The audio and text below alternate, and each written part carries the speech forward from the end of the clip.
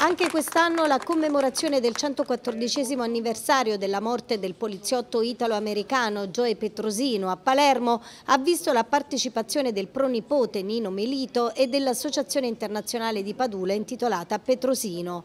Hanno presenziato alla cerimonia tenutasi in Piazza Marina, luogo dell'agguato mafioso che pose fine alla vita del poliziotto eroe il 12 marzo 1909, accanto all'assessore alla cultura del comune di Palermo Giampiero Cannella, all'AMS di Palermo e alla Presidente dell'Istituto Superiore per la Difesa delle Tradizioni Roberto Trapani, Vanda Fabbri. Il nostro compito, ha detto quest'ultima, è trasmettere ai giovani questi valori e un modello come Gioe Petrosino. Grazie all'azione di Melito e dell'associazione, il nome e il significato di questo poliziotto pioniere nella lotta contro il crimine organizzato e precursore di alcune tecniche investigative moderne hanno acquisito sempre più risonanza anche nel Salernitano.